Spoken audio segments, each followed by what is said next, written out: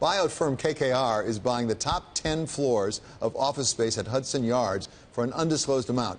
Is this a culture shift for KKR as it moves to the west side?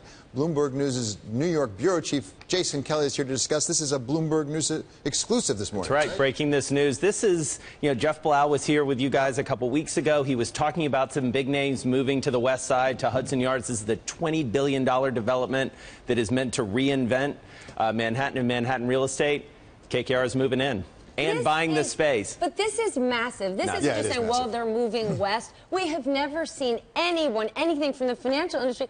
We're talking west, okay? This is West Chelsea, worse than West Chelsea. Just No, a no. few years ago, this is basically behind No, Penn Station. This is west a no nowhere. Nowhere. land. No, I, I had an office for a time at the Associated Press, which was down there overlooking those rail yards. There was nothing there. I mean, it was Man, desolate. don't you wish you bought that off? No kidding, exactly, exactly. I should have. That's Yeah, right. I mean, and what's also notable about this is that KKR is not just paying rent, they're actually buying the 10 floors, a- as you said. So this is a deal. You know, these are deal guys. And so this was led by, I'm told, the most senior people at KKR. Henry Kravis was involved, Ralph Rosenberg, who runs real estate for KKR. I mean, this is a deal. The, the, this was not just they called their broker and said, yeah, we're thinking about some new office space. I space. have to say, I'm not from around here. You are, but I'm, I'm from Michigan. But one of the things that strikes me about this city, New York, particularly, is it rejuvenates itself. There are these areas that are better. just gone and out, and they come back. And this is one, the latest of them. It is, and and what's also interesting is where they're moving from. So 9 West 57th. If you've read Barbarians at the Gate, you know, I mean,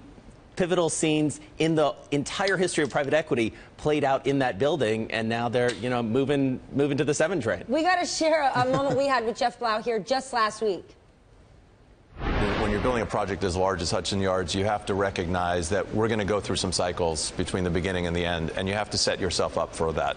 Um, whether it's financial structure, capital structure, um, your leasing, and so you can.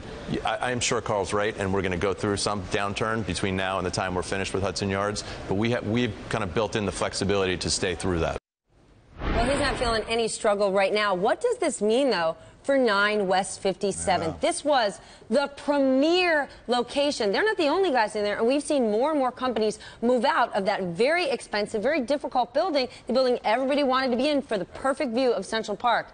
Now is the perfect view of New Jersey, because that's what Hudson Yards gives you. Yeah, and I mean, we'll see what happens to that type of office space that is frankly old. I mean, this Yes. is the newest, latest, greatest. You've got Coach coming into this building. You're going to have a, I believe, an Equinox Hotel 9 over West in, uh, 57th, a building where you're not allowed to use a cell phone in any of the public spaces. Welcome to 2015. Cell phones matter.